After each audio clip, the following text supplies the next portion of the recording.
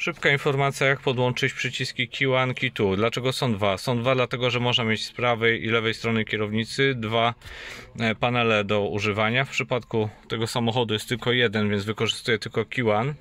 E, jak to podłączyć prawidłowo? Q1 podłączamy do starej kostki e, w radiu. Tutaj były dwa przewody. Jeden musi być połączony z masą, a drugi podłączamy e, do Q1. Dzięki temu obwód się zamyka i sterując manetką zmienia się oporność, dzięki czemu w radiu e, przy nauce podświetlają się przyciski i możemy programować dowolnie. Radio już mamy nauczone przycisków, możemy użyć powiedzmy podgłaśania, słychać klikanie. Jest jeszcze tylko jedna uwaga.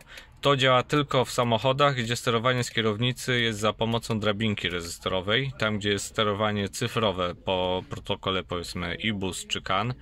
E, te kabelki e, Q1, Q2 nie będą działać, ponieważ to jest tylko do rezystancyjnej zmiany e, poziomów i wówczas tylko tutaj można zaprogramować.